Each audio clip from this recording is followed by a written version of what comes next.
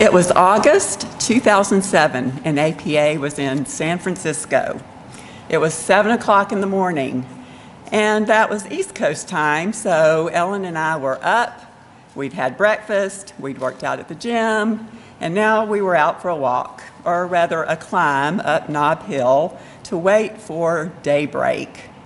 At Grace Cathedral that early morning, we discovered something that has captivated my imagination ever since. Before that morning, I didn't know anything about the labyrinth. Since then, I've become a tiny bit obsessed with it. So, for the next few minutes, I want to share with you why I think the labyrinth is a compelling metaphor for my career development, and perhaps it will be a useful metaphor for you as well. When we talk about career development in Western cultures like ours, what are the metaphors that come to mind? Well, the first one that pops into my mind is the ladder. We talk about climbing the ladder to success. In this metaphor, the rugged individual climbs solo with great effort, rung by rung, up and up and up to the top.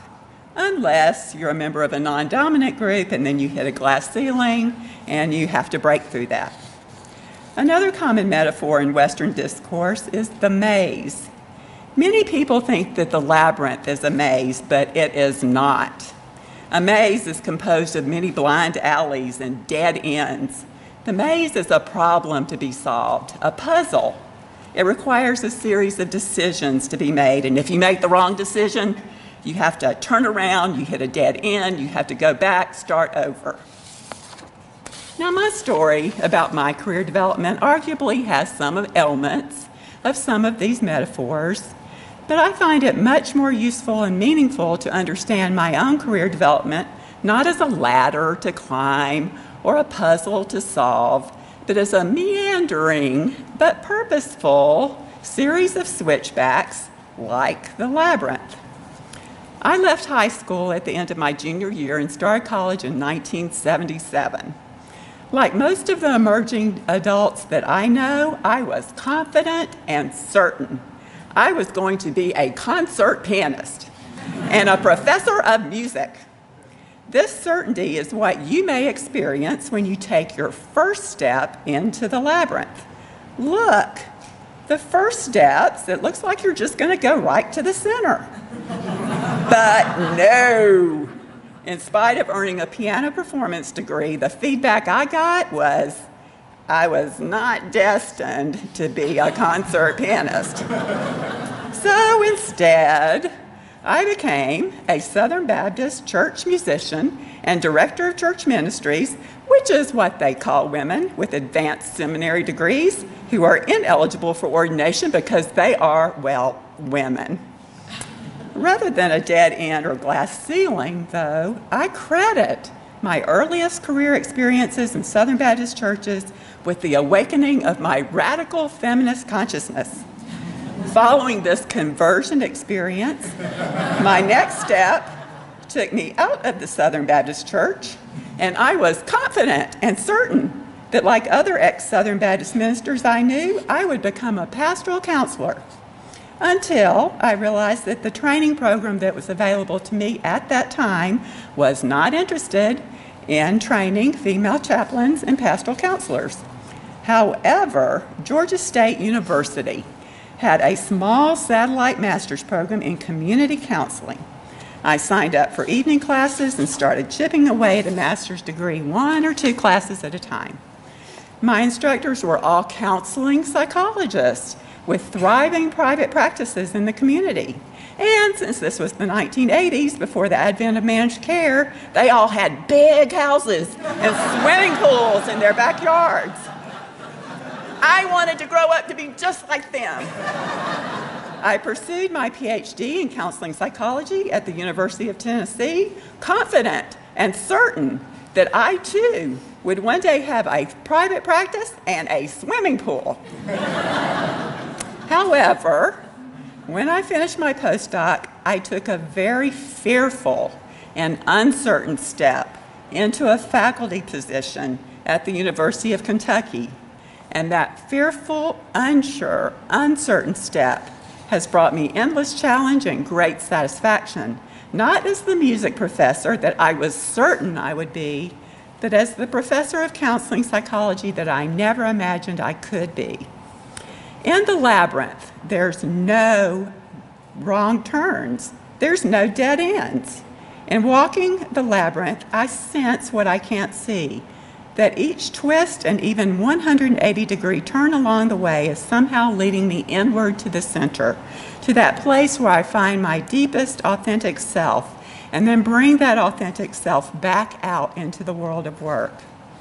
The other reason I love the labyrinth is my career metaphor is that you don't walk the labyrinth by yourself. We may be at different places on the labyrinth, but we are all on the path and therefore all connected to each other. We never go it alone.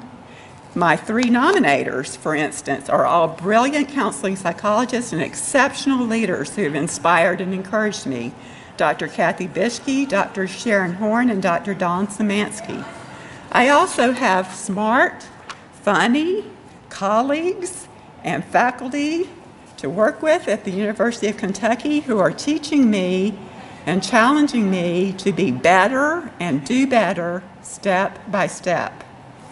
Now, please let me introduce to you and present the most influential person in my life, Dr. Ellen Riggle, and she's here in the flesh if you would like to meet her.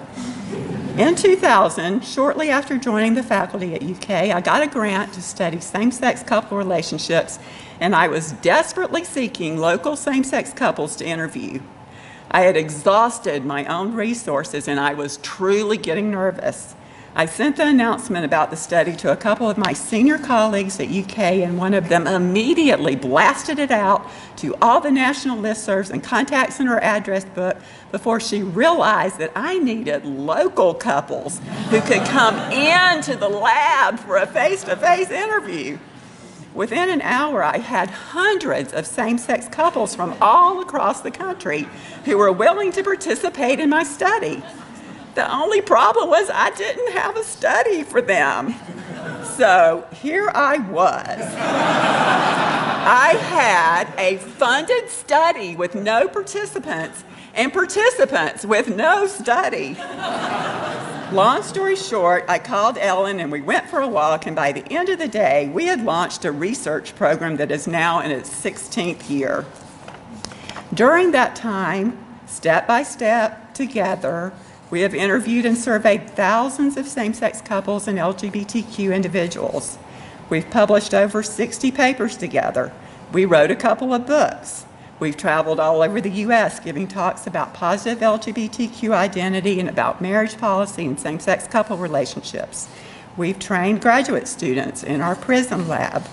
We've also created a life together as a couple and as a family. Now, graduate students and early career psychologists, I really didn't see any of that coming. None of that was part of my strategic plan or my long or short term goals. Not that there's anything wrong with those, but I'm grateful that many of my short and long term goals never materialized and that unexpected, surprising, and wonderful things did. I imagine that some of my fellow fellows in this room would also admit that they never planned to, to end up where they are doing what they're doing. Perhaps you would join me in encouraging the graduate students and early career professionals in this room to trust the process. Even though you may never quite be sure where you are at any particular point in time, you are on the path. When you walk the labyrinth, there are moments where you think you're just about to walk into the center, but no, in the next few steps, you're way back out at the edge, as seemingly as far away from the center as you can possibly get. In the labyrinth, there is one and only one choice Will I take the next step, trusting that the process will take me where I need to be? Walking the labyrinth grips and grounds me in something that's really hard to put words to. That's the purpose of a powerful metaphor.